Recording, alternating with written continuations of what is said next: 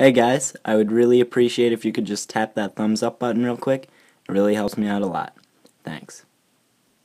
Hey YouTube, in this video I'm going to be showing you the Cydia Tweak Dashboard X and what it allows you to do is add uh, widgets right to your home screen and you can see here I have a clock widget, a calendar widget, and a battery widget and uh, it is $1.99 on the ModMyi repo and uh, definitely worth the price.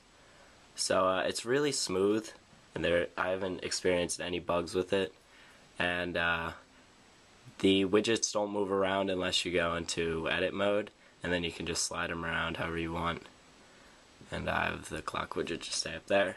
And uh, if you want to add a widget you can download anything from Cydia. Uh, any widget that goes in the notification center can be added to your home screen using uh, this tweak.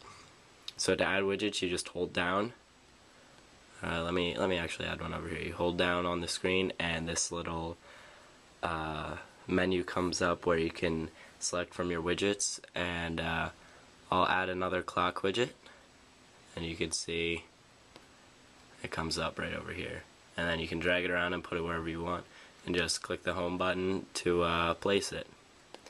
And uh, it's a really smooth app, and I wish they actually had widgets on the uh, native iOS, but this is a really smooth and really fluent app and uh, if you guys want to pick it up again it is called Dashboard X and it is $1.99 on the ModMyi repo or ModMyi repo. Uh, thanks for watching. If you want to see more videos like this just click the subscribe button in the top right corner and if you have any questions just leave them in the comments. Thanks and have a nice day.